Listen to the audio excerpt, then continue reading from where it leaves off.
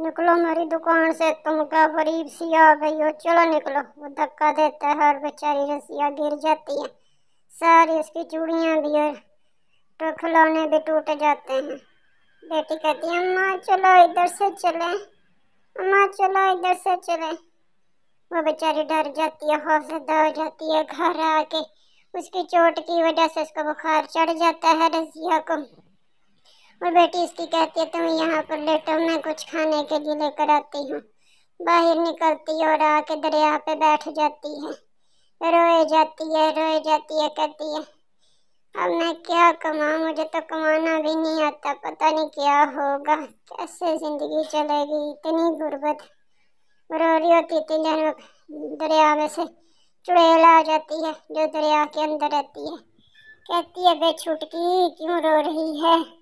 मेरी अम्मा बीमार हो गई है। मैं बड़ी परेशान हूँ। तू परेशान ना हो, मैं कुछ करती हूँ। तुम मुझे खा लोगी। खाना होता तो तुम्हें बता कर थोड़ी खाती। मेरी अम्मी बीमार है। हमारे घर खाने को कुछ नहीं है। मेरी अम्मी चूड़ियाँ बेचती थी। एक दुकान पर गई तो उसने चूड़ियाँ तोड़ दी।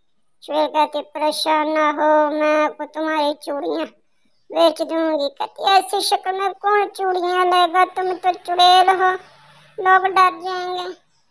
तुम परेशान ना हो, देखना मैं अभी। नया रूप चेंज कर लेती हूँ। बताना मुझे कैसा ये रूप है मेरा? फिर वो चुड़ैल उसकी शक्ल बदल जाती है, कहती, ठीक हो गया। अब तो आप आंटी चुड़ैल नहीं लग रही हैं। अब अब अच्छी रही है मैं आपको अपने घर लेकर चलती हूँ।